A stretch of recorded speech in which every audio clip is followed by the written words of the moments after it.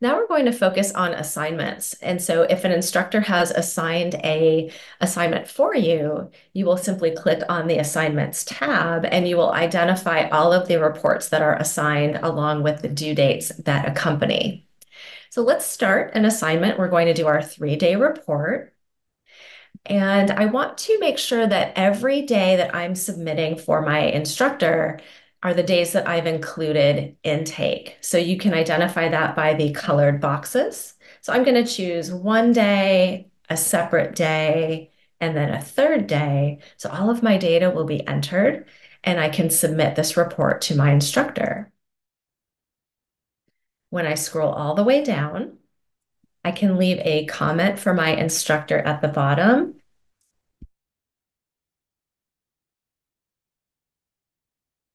and I can submit the assignment.